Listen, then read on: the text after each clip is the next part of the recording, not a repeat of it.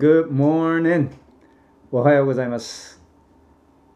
今日もあなたにバイブルからの素敵な言葉をプレゼントしたいと思います。ダビデの詩篇からの言葉です。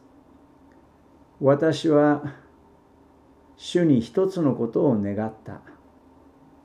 私はそれを求めている。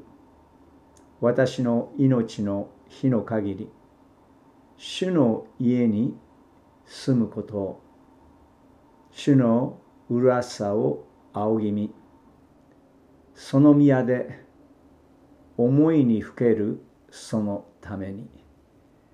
ダビデが願った一つのこと、それは主の臨在の中にいることだと。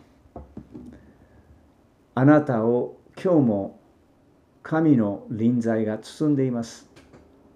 私は決してあなたを離れず、あなたを捨てないとおっしゃるジーザスは、インマニエなる方、すなわち神、私と共におられるという方です。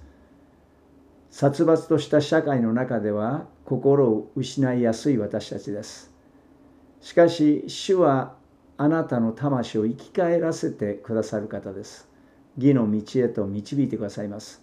ぜひぜひ今日、このジーザスがあなたと共にいることを忘れずに、私が道であり、真理であり、命である、この方と共に素晴らしい一日を歩んでください。Have a good day!